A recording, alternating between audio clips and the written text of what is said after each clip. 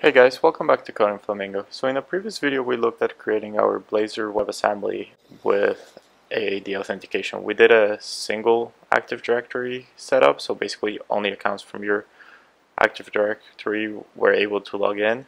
Today we're going to look at making it multi-tenant, so multiple tenants could log into it.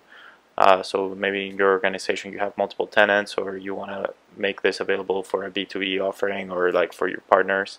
So we'll talk about how to do that. So first we have to go to the Azure portal and we go to Active Directory and we go to our app registrations and then here I have the backend, uh, the client and the front end. So we have to make sure that both of them are multi-tenant, which basically means that they're released to the common uh, tenant uh, and that all other tenants can see them.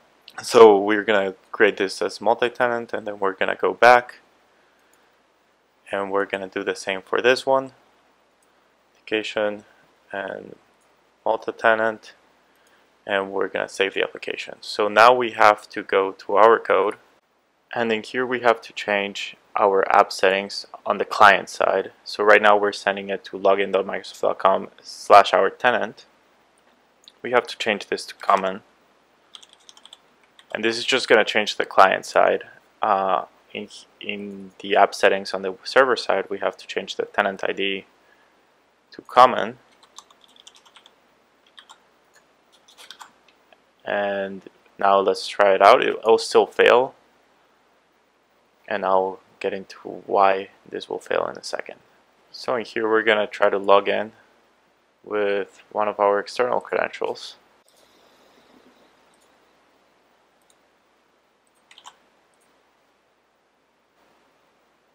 We can see when we try to log in there was an error logging in and if we see the message here uh, we see that it's that the app needs access to the service and basically this organization has not given it access to it so then I've logged in here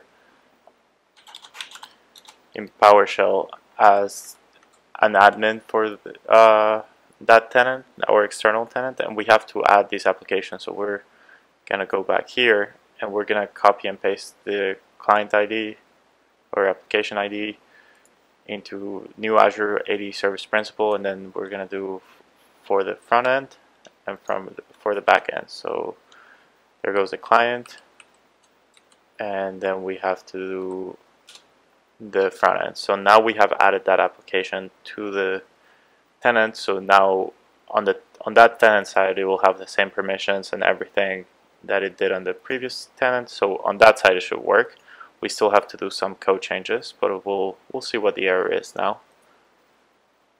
So we're trying to log in again. And this is the first time we're doing it, so we have to accept it. As a tenant admin, you can go in and accept it on behalf of the users. So as you can see, now we can log in because on the tenant side it's all fine. But however, when we try to go to an authorized uh, weather forecast. And let me just do the network. We can see that we get a 401. And if we see at the header response, we see that invalid token. And the reason is because the issuer that we're using, which is our other tenant, is not approved in our application. So now we have to go change our code to get that done. So we have to close this up and we have to go to our startup.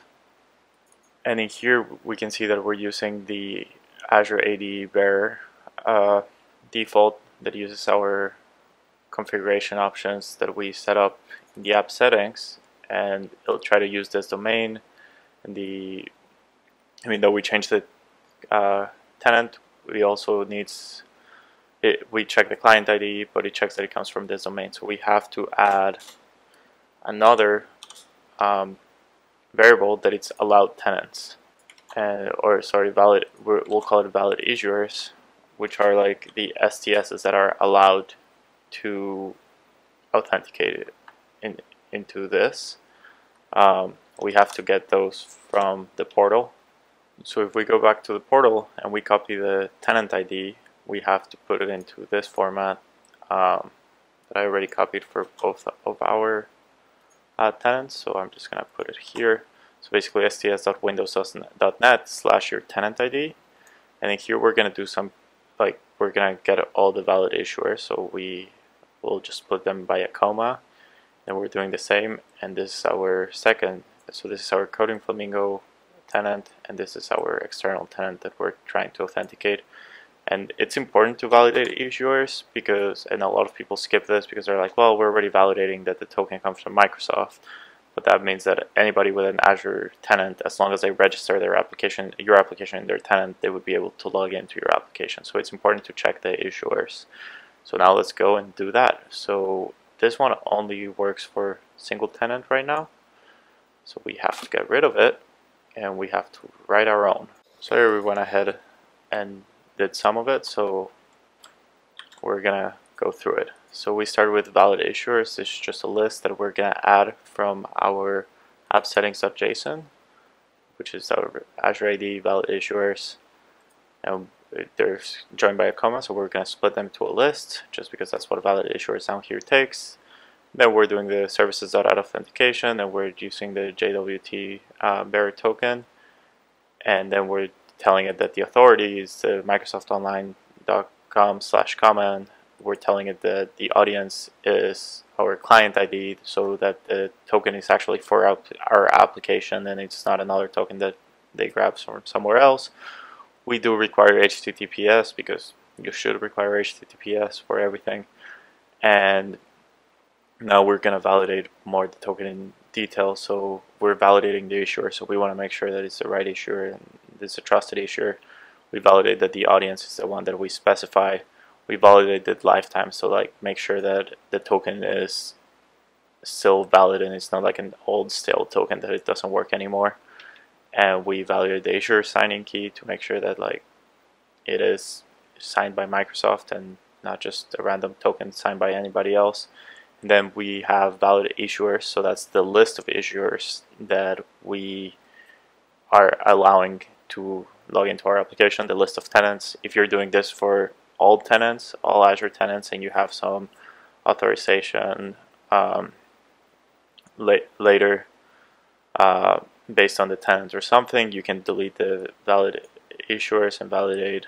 Uh, so validate issuer, you change this to false, and you delete these and then it will allow all issuers from all tenants to log in. So now let's try it out and now it should work. So we're going to log in with our external credential.